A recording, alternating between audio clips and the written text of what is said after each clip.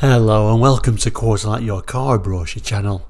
And in today's episode we're going to be looking at the Citroen GSA.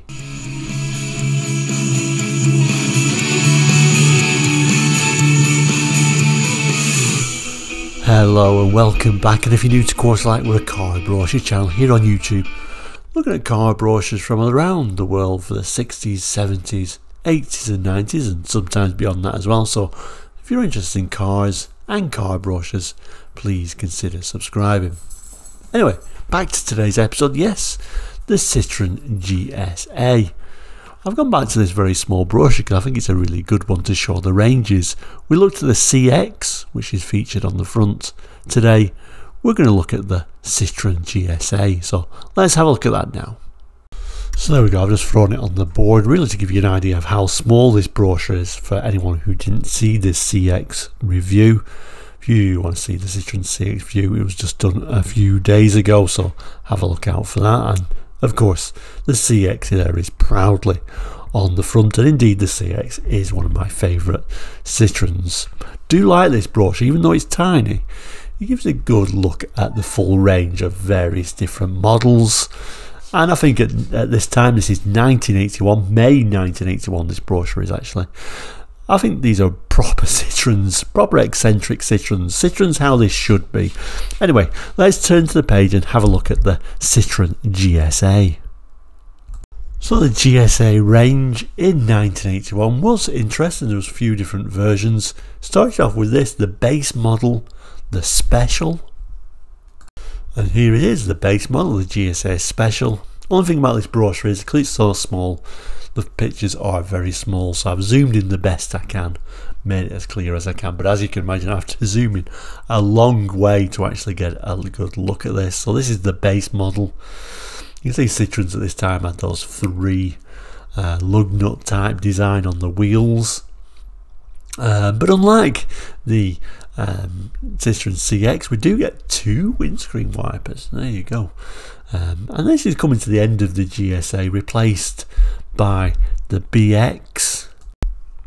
Now, of course, the BX did go to that one wiper design, of course.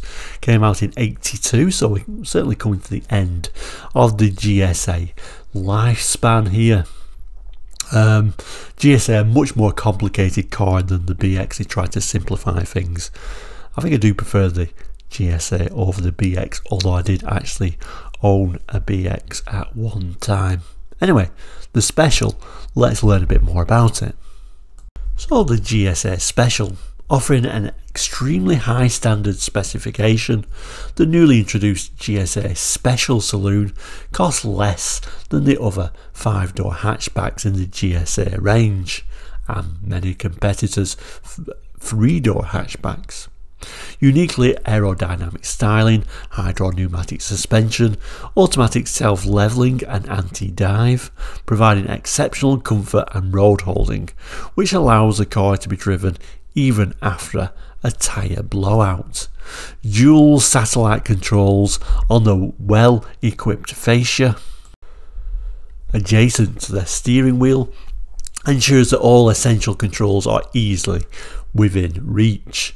Additional safety features include dual circuit disc brakes, front wheel drive, protected passenger capsule, elastic bumpers and side protection strips, the reliable air-cooled engine helps provide excellent fuel economy.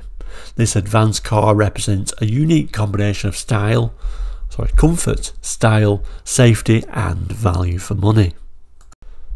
Specifications, it's got 1129cc, 56 horsepower, 4-cylinder air-cooled overhead camshaft engine, twin choke carburetor, 4-speed gearbox, top speed of 93 miles per hour, independent high-pressure hydro pneumatic suspension, 2-year 65,000 mile guarantee, anti-roll bars front and rear, anti-lift, anti-dive, dual circuit fully powered braking, disc brakes on all wheels, front brake pad wear indicator, independent front uh, emergency brake, built-in aerial with twin speakers, electric washers, two-speed windscreen wipers, with intermittent wipe, reclining front seats, cloth upholstered, heated rear window, reversing lamps, high intensity rear fog lamps, hazard warning lamps, trip mileage recorder, warning lamps for low fuel, uh, failing oil pressure, low hydraulic level,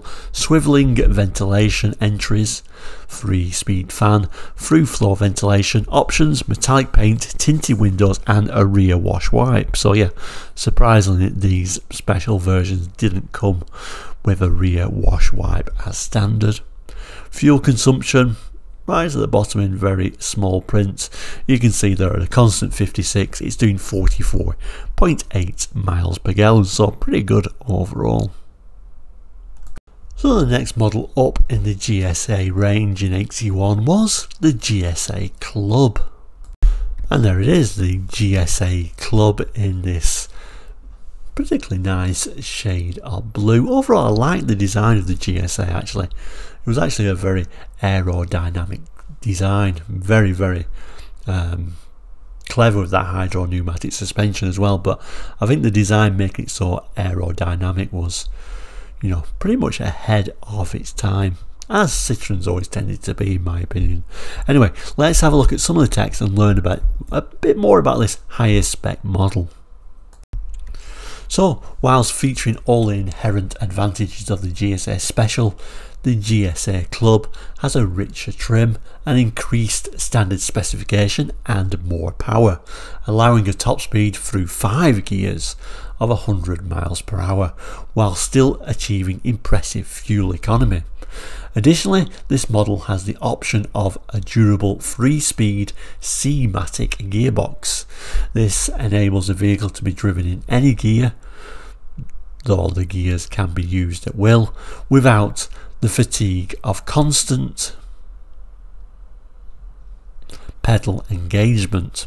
All GSA models offer excellent loading capacity. The saloons allow 15 cubic feet boot space and, with the rear seats folded, some 49 cubic feet of wholly usable space. All in all, an exceptionally equipped, versatile and economical car. So specifications, we've now got a 1299cc, 65 horsepower, 4-cylinder air-cooled light alloy overhead camshaft engine with a 5-speed gearbox, giving it a top speed of 100 miles per hour. Independent high pressure hydro pneumatic suspension, anti-roll boys front and rear, anti-lift, anti-dive, dual circuit fully powered braking, disc brakes on aerial, and twin speakers. Disc brakes on aerial and twin speakers. A bit of a strange sentence.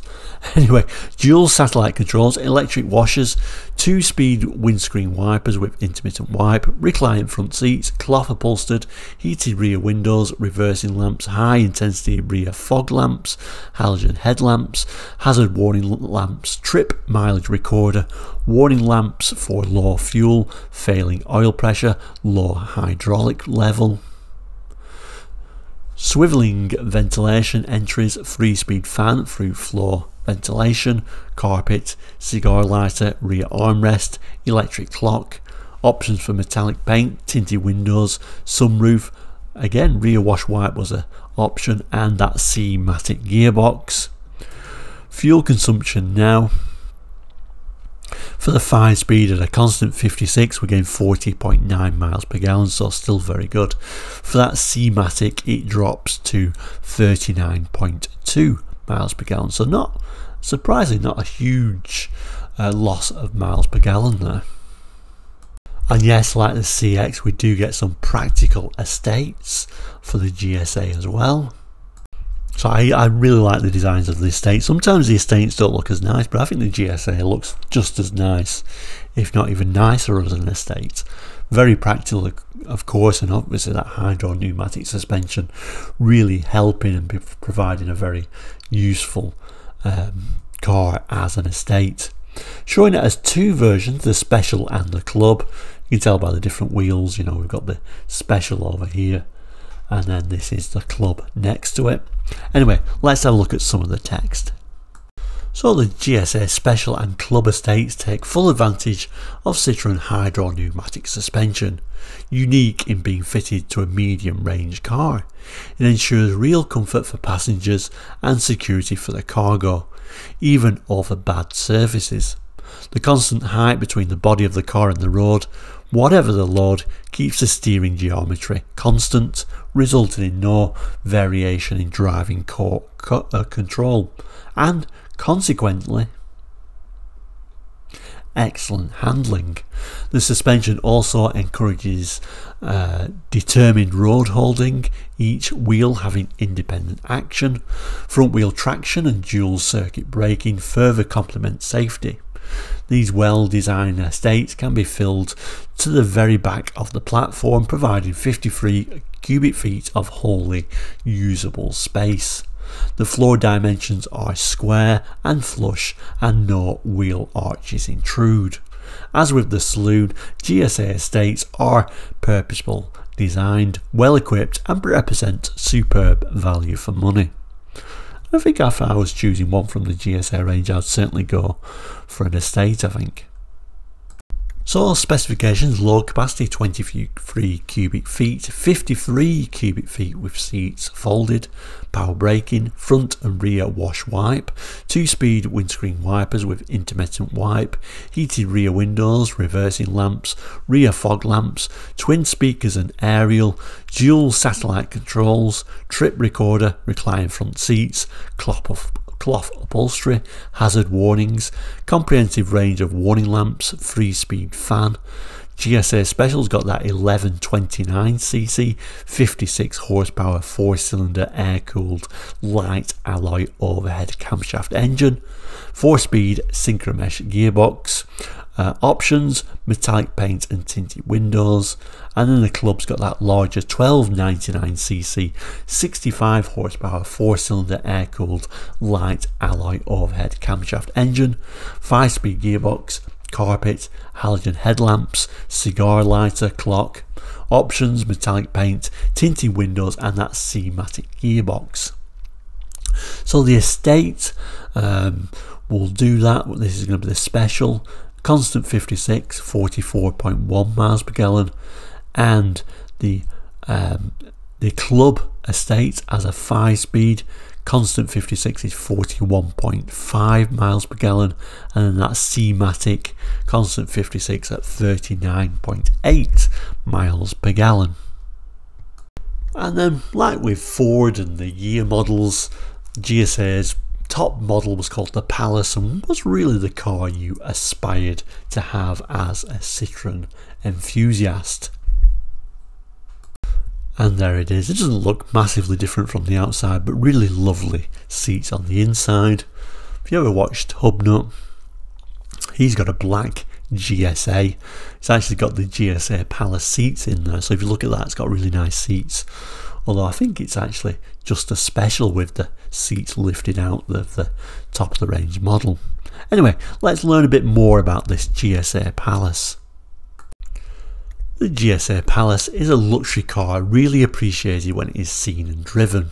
This model boasts the comfort, safety and style as well as the other qualities of the range and, with additional of extra fitments, reaches the zenith in its class in spaciousness, the GSA is big and strong, roomy and relaxed, ample for carrying five adults without stress. Contoured seats achieve real passenger ease, complemented by the high degree of noise suppression. Ride comfort, unyielding road grip, grip and obedient response to control allow even the most tedious driving experiences to become pleasurable. Lavish equipment matches luxury of finish. As with the club, C-Matic is available to eliminate the main stress of town driving. Other options such as metallic paint and sunroof give the discerning owner extra opportunities to personalise this car. As with all Citroen cars, the GSA is subjected to an exhaustive progression of quality control tests and treatments against corrosion, procedures specially designed for the UK. That's interesting. I'm not sure what it's really trying to say when it says procedures specially designed for the UK, really. I don't know if that's just something they've just thrown in there to say, you know, you know, it's got rust treatment in there, and yeah, it'd be good for the UK because lots of rust treatment, or is it trying to say that there were actually procedures designed against corrosion for the UK? I'm not 100% sure. I don't think they did anything extra for the UK, put it that way. But I do think they held up pretty well against rot. And I know the BX seemed to really stand up very well against rot and had some materials in there that wouldn't rot. Um, and they certainly stood up well. You don't see many GSAs, but I don't think they were bad for their time. Specifications a 1299cc engine, 65 horsepower, 4 cylinder air cooled light alloy overhead camshaft engine, 5 speed gearbox, and that top speed of 100 miles per hour. So additionally to the full stylish equipment of the GSA Club are extra, uh, sorry, smart extra fitments digital electric clock, external mirror, adjustable from within, rear window wash wipe. Oh, we do get rear window wash wipe now as standard. And if you notice, Hubnuts one doesn't have rear wash wipe on his.